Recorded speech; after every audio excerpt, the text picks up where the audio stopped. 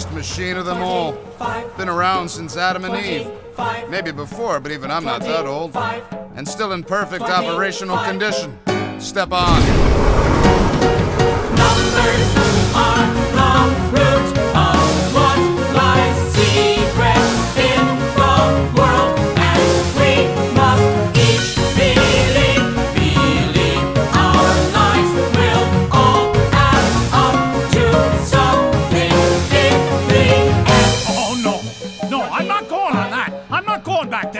You are.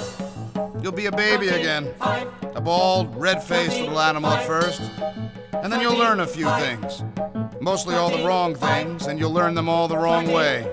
You'll eat the wrong food, and wear the wrong clothes, and live in anonymity. And the world just beyond your reach will be the sunlight. And you won't know you're relegated to the darkness. And when you've been properly conditioned to believe that anything is possible, which couldn't be further from the truth, you'll take a job.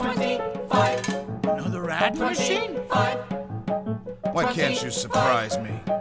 You're just a slave to a contraption of steel and iron, you spineless idiot. I pity you. They keep me here! You chose the machine, Zero, every time. So it chose you.